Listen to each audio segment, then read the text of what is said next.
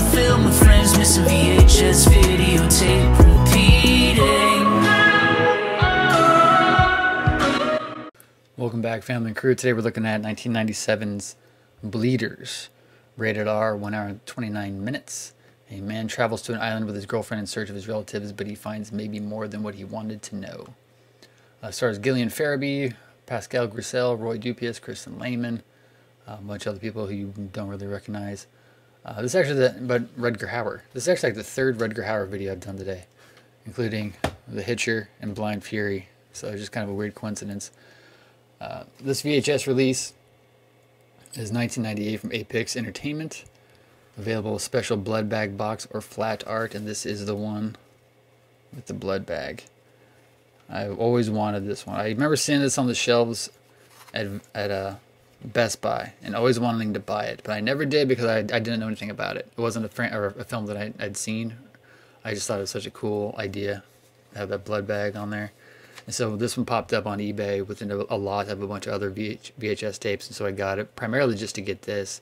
And then I think the HBO uh, Cannon video or HBO EMI video of uh, Hills Have Eyes Part 2. Both those were in there. I got like six or seven videos for like 20 bucks, so it was well worth it because this is one I always wanted uh, to collect. So it's actually a screener copy. So for screening purposes only, this is one that they sent out to video stores. It's got some special feature stuff at the beginning of it, talking about the release dates or the, the street dates for all the for all the content. But I just really just dig it. Uh, this is directed by excuse me, Peter Svatek, written by Charles Adair, Dan O'Bannon, and Ronald Shusett. O'Bannon and Shusett, uh, we know from such great films as being the writers of Alien, and they also did the underrated and really great film Dead and Buried. So it's got it's got a great writing crew behind it, and it's got a great VHS to collect.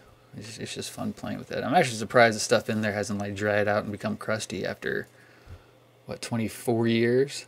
But yeah, Gothic horror, 92 minutes. This is just one that it's just it's so stupid. It's just one I always wanted 24, 25 years ago, and I never bought. And then I'm still I'm just happy and gleeful that I have it now. So it's a cool one to have in the collection. Uh, let me know in the comments below. Did you guys ever see this on the store shelves back in the 90s? Uh, if so, did you buy it? Did you wish you would have bought it? It's just fun. Just fun to play with. As always, like, comment, share, subscribe. Check out the trailer and other content, and I will see you next time.